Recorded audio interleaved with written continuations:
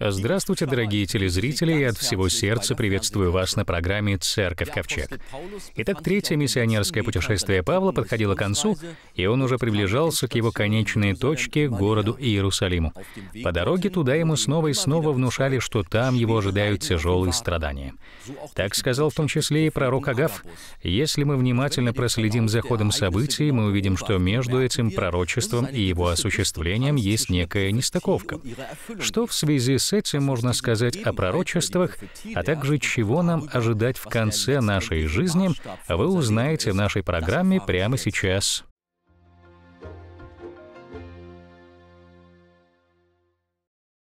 Здравствуйте, дорогие братья и сестры. Я рад, что вы сегодня здесь. Сегодня мы обсудим довольно большую главу. Давайте сейчас все вместе встанем. Сейчас мы откроем 21 главу Деяний святых апостолов и прочитаем для начала стихи с 1 по 6. «Когда же мы, расставшись с ними, отплыли, то прямо пришли в Кос, на другой день в Родос и оттуда в Патару. И, найдя корабль, идущий в Финикию, взошли на него и отплыли.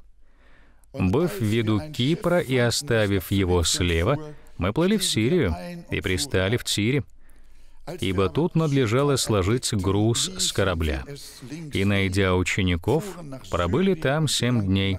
Они, по внушению Духа, говорили Павлу, чтобы он не ходил в Иерусалим. Проведя эти дни, мы вышли и пошли, и нас провожали все с женами и детьми даже за город. А на берегу, преклонив колени, помолились, и, простившись друг с другом, мы вошли в корабль, а они возвратились домой. Мы же, совершив плавание, прибыли из Тира в Пталимаиду, где, приветствовав братьев, пробыли у них один день. А на другой день Павел и мы, бывшие с ним, выйдя, пришли в Кесарию и, войдя в дом Филиппа Благовестника, одного из семи диаконов, остались у него.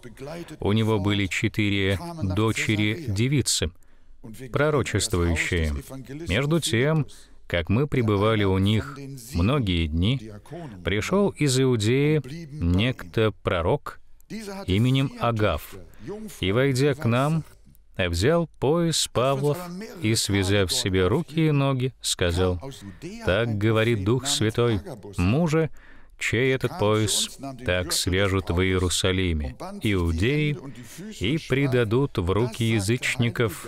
Когда же мы услышали это, то и мы, и тамошние просили, чтобы он не ходил в Иерусалим. Но Павел в ответ сказал, «Что вы делаете?» что плачете и сокрушаете сердце мое. Я не только Хочу быть узником, но готов умереть в Иерусалиме за имя Господа Иисуса.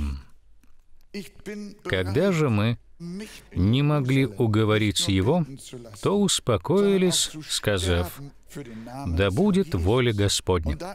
После сих дней, приготовившись, пошли мы в Иерусалим. С нами шли и некоторые ученики из Кесарии, провожая нас к некоему давнему ученику Монасону Киприанину, у которого можно было бы нам жить. Аминь. А теперь, пожалуйста, присаживайтесь, дорогие братья и сестры. Давайте разберем этот отрывок из Библии, который я только что прочитал. Дорогие прихожане, 21 глава Деяний является поворотным моментом в служении Павла. А в этой главе описывается то, как он и его товарищи уехали от пресвитеров Ефесской церкви и отправились на корабле с несколькими остановками в пути через Средиземное море в Иерусалим. И там, в Иерусалиме, об этом мы поговорим на нашей следующей проповеди. Так вот там, в Иерусалиме, римляне арестовали Павла. Это был конец его свободы. С тех пор он больше не мог провозглашать благую весть как свободный человек. С тех пор он стал посланником, связанным узами, посланником Бога, Благодаря этим узам он смог попасть в Рим и предстать перед императором. Из его посланий Тимофею и Титу следует, что он на какое-то время снова получил свободу, посетил Грецию и Крит и еще раз побывал в Малой Азии. Но в любом случае, нам известно, что после его передачи римской церкви он был казнен мечом при императоре Нероне. Считается, что это произошло одновременно с распятием Петра. Итак, мы можем видеть, что его визит в Иерусалим, а пути туда я вам только что прочитал, стал важной вехой в его жизни. Три великих миссионерских путешествия Павла, которые мы подробно разобрали, подошли к концу. В нашем сегодняшнем отрывке он находится на последнем этапе своего третьего путешествия и направлялся в Иерусалим. Его миссионерские путешествия подошли к концу. Время основывать новые церкви для него прошло. Теперь он шел дорогой страданий и смерти и большую часть этого пути он провел в заточении и вузах. Похожее произошло и с Иисусом. Три года он своей верховной властью вершил свои деяния, а после отправился в Иерусалим, где и начался его путь страданий. То же самое произошло и с Павлом. Во время его пути в Иерусалим Святой Дух снова и снова свидетельствовал ему, что его там ожидают тяжелые страдания. Чуть ранее, в Деяниях, мы прочли такие слова. «И вот ныне я по влечению Духа иду в Иерусалим, не зная, что там встретятся со мною. Только Дух Святой по всем городам свидетельствует, говоря, что узы и скорби ждут меня. Павел сам почувствовал, что Святой Дух приказал ему отправиться в Иерусалим. А еще Дух Святой открыл другим, что Павла там ждут узы и скорби. Эти слова повторяются и в главе, которую мы читаем сегодня. Когда Павел и его команда достигли Тира, то есть сирийского побережья, с корабля надлежало сложить груз. Поэтому у Павла и его спутников было целых семь дней на то, чтобы навестить местных учеников Иисуса. И когда он встретился с ними, как мы недавно прочли, они по внушению Духа стали говорить ему, чтобы он не ходил в Иерусалим. Похожая ситуация произошла еще раз, прямо перед его прибытием в Иерусалим в Кесарии. Это был последний город, в котором он сделал остановку по пути в Иерусалим. Это произошло в доме Филиппа, который был диаконом. Павел и его команда провели несколько дней с Филиппом в Кесарии, а потом из Иудеи пришел пророк Агав. Он взял в руки пояс Павла. Это был не кожаный пояс, а пояс из ткани. И, взяв пояс Павлов и связав себе руки и ноги, он сказал, «Так говорит Дух Святой, мужа, чей этот пояс, так свяжут в Иерусалиме иудеи и предадут в руки язычников. Ну надо же! Опять то же самое предсказание. То есть Святой Дух говорил ему об этом на протяжении всего его обратного пути. С самой Греции, самого Каринфа Павел снова и снова слышал о том, что его ждут оковы и скорби. Итак, здесь мы можем видеть предсказание Агава, который ранее уже предсказал голод в Антиохии. У него на самом деле был дар пророчества. Но если мы внимательно посмотрим на то, как именно осуществилось его пророчество, об этом мы поговорим на нашей следующей проповеди, Но сейчас мы коснемся этого относительно самого пророчества Агава. Так вот, если мы внимательно посмотрим на то, как именно осуществилось его пророчество, мы заметим, что хоть пророчество Агава в общем и целом исполнилось, но если присмотреться к деталям, все произошло иначе, чем он предсказал. Вы заметили это, когда читали этот отрывок? Между пророчеством и его осуществлением было несколько разнящихся моментов. И это очень интересно. Например, Павла связали не иудеи, как это предсказал Агав, а римляне. Также Павел был передан язычникам не иудеями, как пророчествовал Агав. А это римляне спасли его от иудеев. То есть мы можем видеть в этом пророчестве некоторые нестыковки с реальными событиями. В общем и целом, предсказание Агавы сбылось, но отдельные моменты этого предсказания не совпали с тем, что произошло в реальности. И тут, дорогие прихожане, мы можем увидеть указание на то, чем различаются ветхозаветное и новозаветное пророчество Ветхозаветное пророчество характеризовалось тем, что оно было непогрешимое. То, что мы считаем ветхозаветными пророчествами, было сказано пророками Ветхого Завета. Эти пророчества осуществились досконально и без всяких разногласий.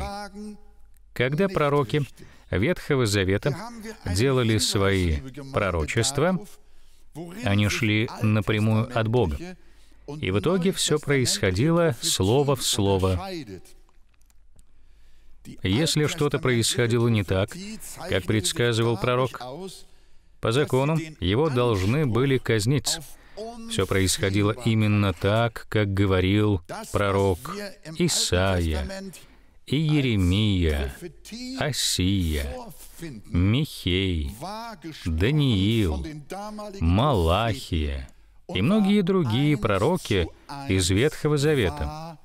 А это означает, что данное пророчество точно послал им сам Бог. Но потом пророчества такого рода прекратились. И сегодня точные пророчества мы можем найти только в Библии.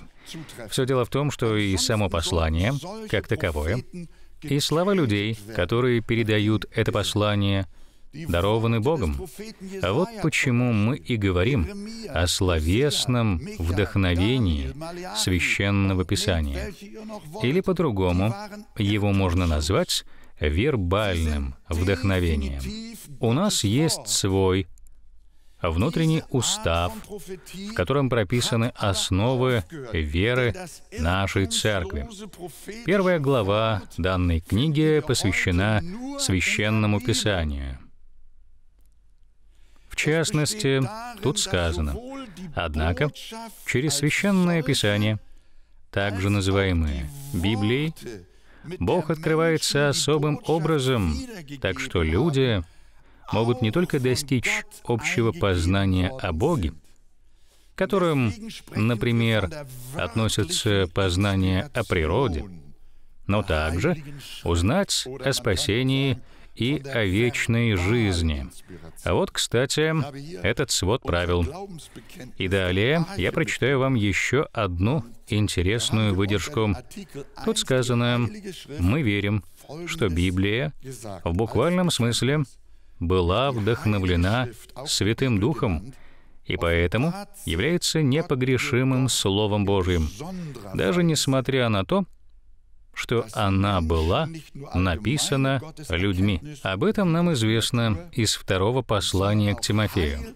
То есть это сказано в самом Священном Писании. Знание о том, что Священное Писание было вдохновлено словами, заставляет нас сегодня относиться к нему довольно критически. Обладая этим знанием, мы становимся фундаменталистами. Но какой смысл будет в том, если мы начнем философствовать на эту тему? Если мы будем философствовать о том, что в Библии от Святого Духа, а что не от Святого Духа, о том, что там истина, и о том, что там ложно. Мы считаем, что Библия целиком и полностью истина. Либо же целиком ложно, это выбирать вам.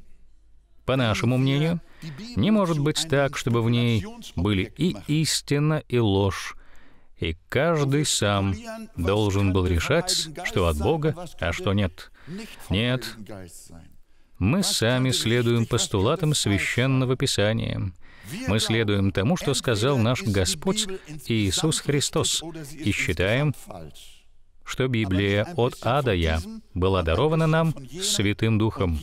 Каждое ее слово было послано нам им. Именно так считает наша церковь. Да, это очень важное послание. Итак, в Библии есть так называемые пророческие слова.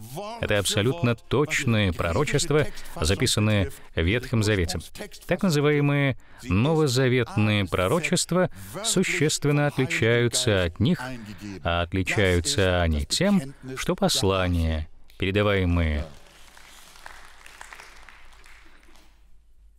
пророками Нового Завета тоже исходят от Бога.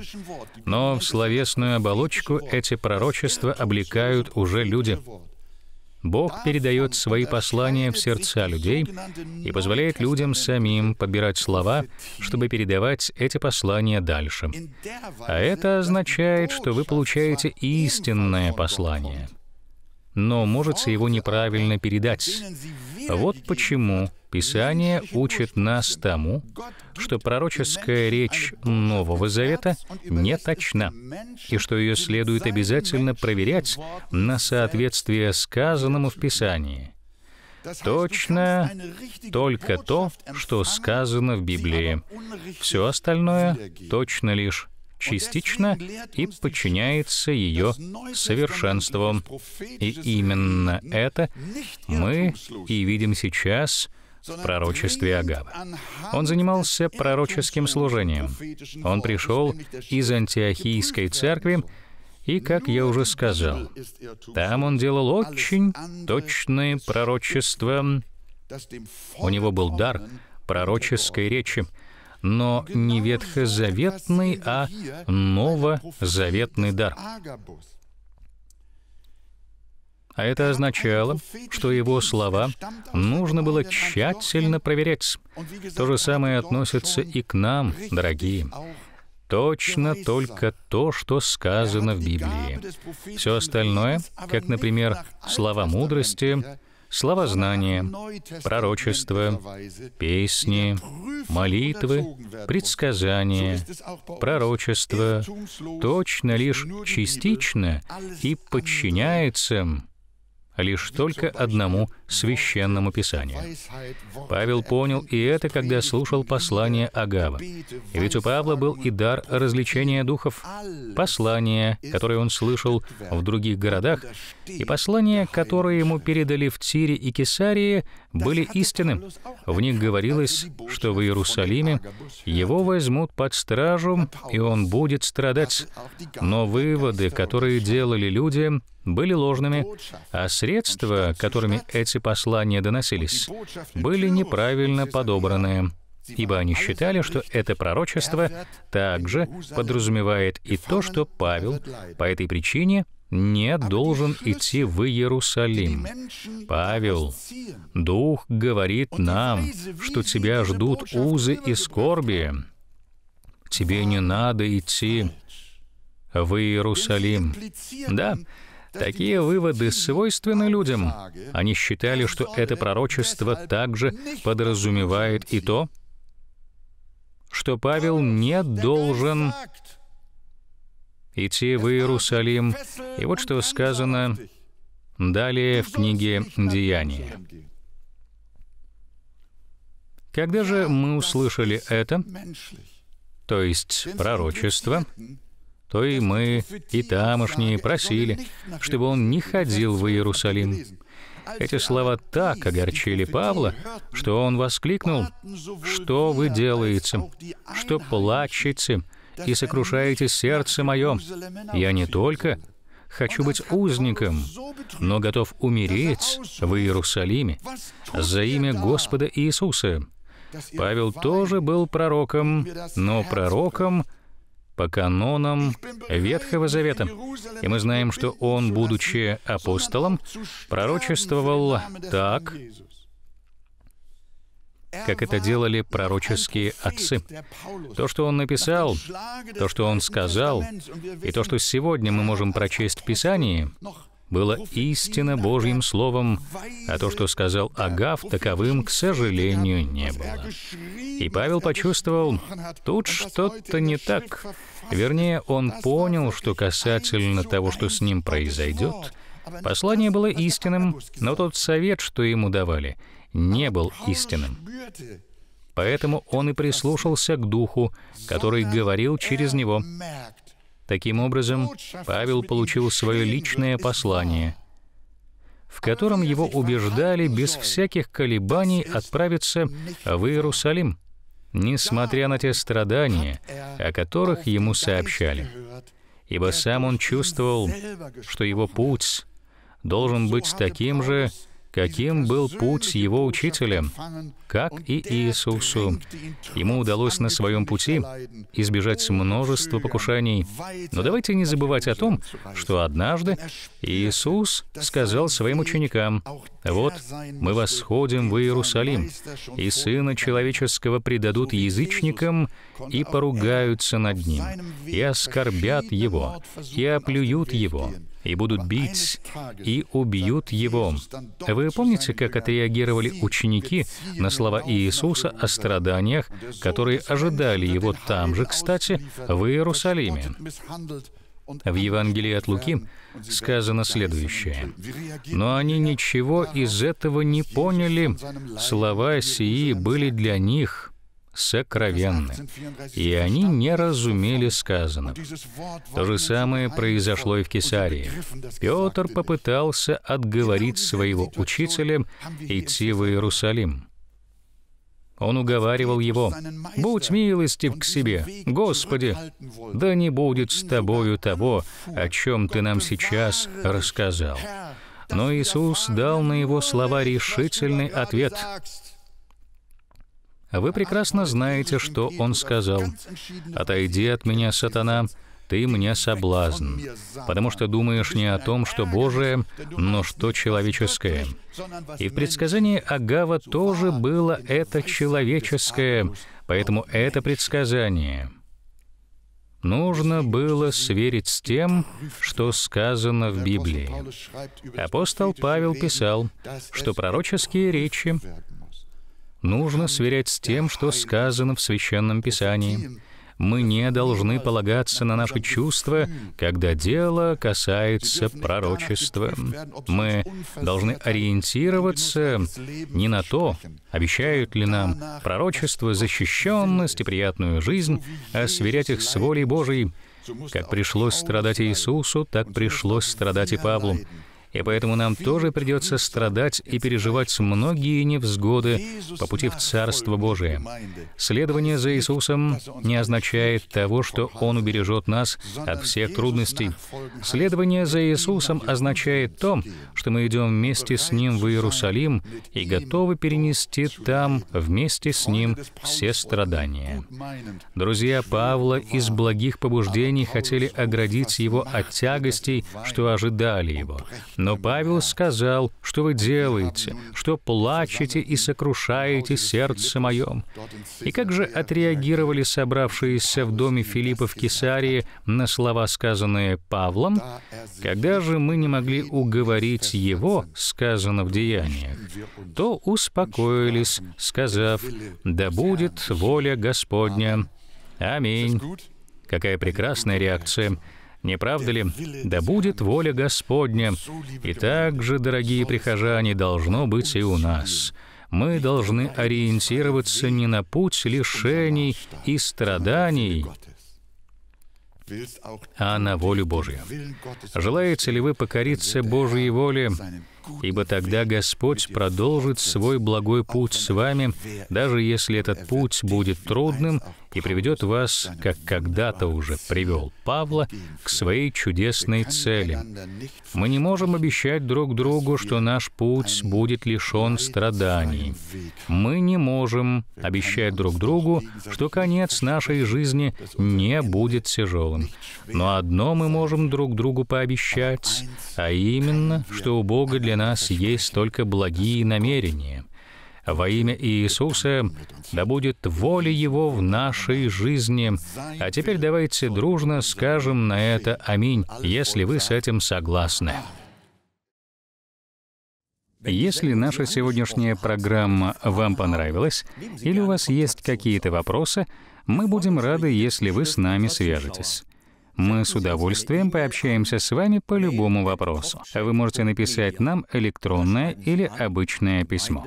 Наши адреса вы видите сейчас на экране. Мы от всего сердца благодарны нашим зрителям за их поддержку. Ваши молитвы и пожертвования очень способствуют тому, что наша программа продолжает выходить в эфир. Мы будем очень рады, если вы переведете пожертвования на наш счет. До свидания. Мы будем рады, если вы посмотрите и наши следующие программы.